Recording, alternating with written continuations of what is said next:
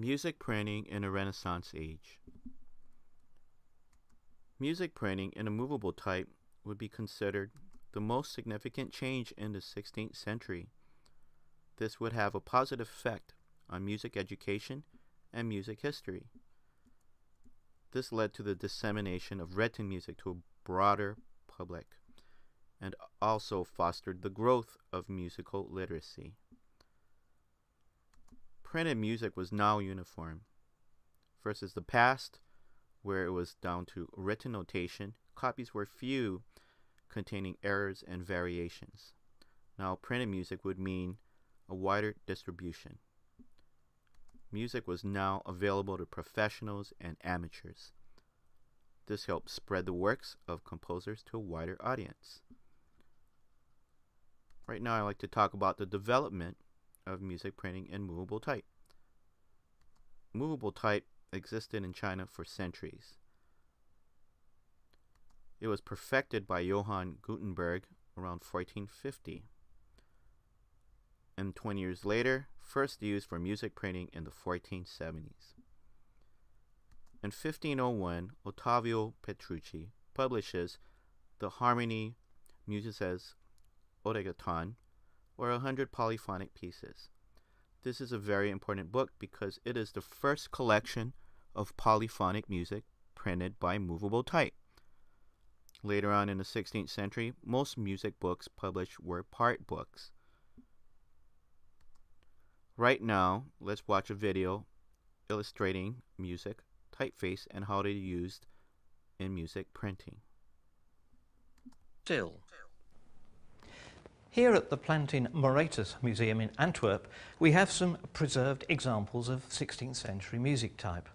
And we can see how the printed music was literally put together. For each note, you would need a separate piece of type. Here's one with the note head on the middle line of the stave. If you wanted to build an ascending scale, you would go from there to one with a piece of type on the next space, and then on the next line up, and the next space, and on the top line. You could save the number of pieces of type by turning it the other way up and so now we have the ascending scale of all the notes from the bottom line up to the middle line. As music typeface continued, demand for music books grew. Printed music became more affordable, and by the end of the 16th century, Rome, Nuremberg, Lyons, Louvain, Antwerp, and London, along with Venice and Paris, became publishing centers.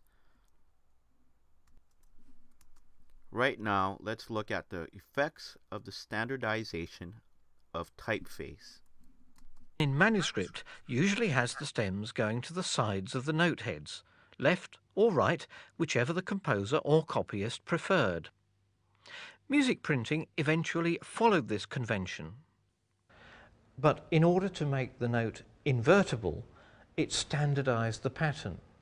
And in fact, it then gradually changed the way people wrote manuscript music so that the down stem went to the left hand side of the head and the up stem to the right hand side. The disadvantages of movable type. The disadvantages included irregular spacing because of the varying sizes of the movable type. Adding text was very difficult Fast passages could not be duplicated. In conclusion, movable type printing had a positive influence on music and music education because music became more available to a wider audience and general public. It standardized notation and it led to the wider distribution of music and eventually music textbooks to be used for education in classrooms.